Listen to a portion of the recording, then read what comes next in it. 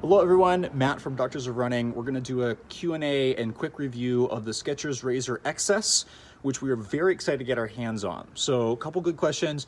This is a more cushioned version-ish of the Razor. It is not a replacement for anything. So we had a couple questions going, is this the upgrade from the Razor Plus? No, it is not. This is its own shoe but it, it is inspired by the Razor. So it's a little more maximally cushioned Razor. It's very different from the Razor, and we'll talk about that in a little bit, but it does de definitely does not replace any of the Razor models. So definitely its own thing. Is it still have the essence of it? Yes, this is definitely a shoe that I would pick any day for racing an ultra road event or racing uh, a marathon.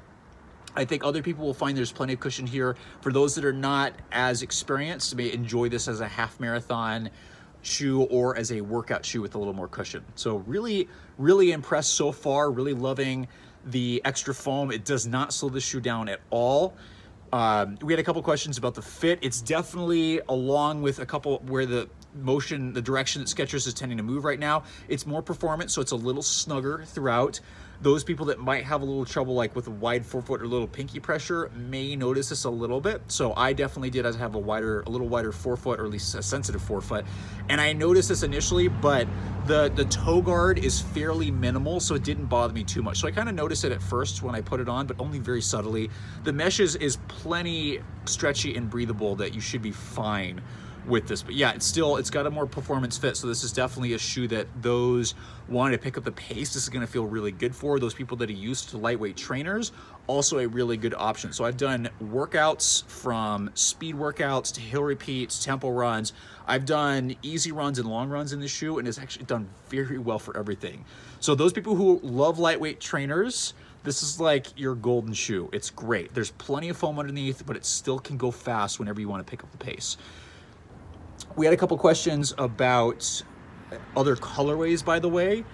I like this colorway. There's some even better ones coming, so I'm really excited. I, I can't say too much, right, because Skechers will let you guys know on that, but there's a lot of very good colorways coming on the shoe.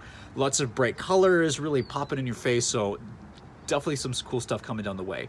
In terms of ride, I the Razor is fairly flexible, right? There's not these, you know the Hyper feels great. This shoe actually is a little stiffer. There is no plate in this shoe, but the extra foam makes it a little stiff and and definitely snappy when you pick up the pace. It is rockered, right? So the heel bevel is really nice. The, the toe spring is really nice, but expect a little stiffer ride, which works very very well for picking up the pace. So the weight obviously increases in this shoe. So it's a seven and a half ounce shoe in a men's size nine.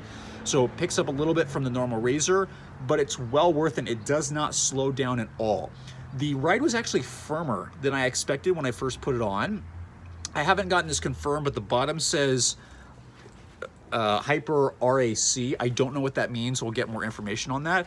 But for me, this actually feels more stable and a little bit more responsive than the normal Razor. So the, the Hyper and the Razor can feel a little bit soft, which is really nice for such a light shoe. This one feels more like more protective, but firmer initially. It's breaking in nicely. I'm getting a little bit of that traditional Hyper feel, but it's definitely a little firmer ride. So those, again, wanting to go up tempo for longer distances, this is a great shoe. This, it doesn't bottom out at all. There's plenty of material here. So even after I've done like 14 mile long runs on road or doing like multiple runs a day, haven't had any problems in this shoe. So really good. I was almost considering a 50K road race, but my schedule as a full-time professor and a PhD student and doing his doctor's running did not has not allowed for it at the moment and uh, we don't even know in Southern California if we'll be able to race. So kind of had to pass on this one but if I was gonna race this would be my shoe of choice by far for any like ultra distance on the road so really good. Fit is definitely, like I said, a little bit more performance oriented. There is a heel counter in this shoe, but it's fairly flexible and I had no issues. Laces work really, really well. The only challenge that I have is like many models, durability wise, it's, it's not the greatest. A lot of models from racing to trainers, especially with this razor design, I tend to scuff my heel on the left side and will pull this off. So I have about 35, 40 miles on my pair right now and yeah, durability is not the hottest on the outsole, but there's plenty of outsole here that when you wear through it, you'll be fine. So I have pairs of Speed Elites that I have like 150 miles on that I've blown through this and still wearing through. And there's still enough midsole there that it's, it's done fine. So don't worry so much about this because again, for me, the outsole is peeling off but I'm still gonna keep using this. There's plenty of midsole as a more maximal cushion shoe that should be totally fine. The other thing I really like, like I said, a lot of the Razor models being a little softer aren't the most stable for a lot of people. For those that want just a hair of stability, try this. So you got a little bit of uh, lockdown, really nice for the subtle uh, elevation of the sidewalls. And the firmer sole definitely provides a lot more stability. So that's why I've been able to take this for much longer miles than I would normally take some of the other Razor models. So yeah, really, really impressed with the Razor Excess. I think they did a great first job. Some sexy colorways coming out.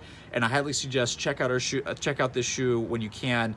It'll come out soon. We're gonna have a full review in the next couple weeks. So look forward to that and thanks for watching.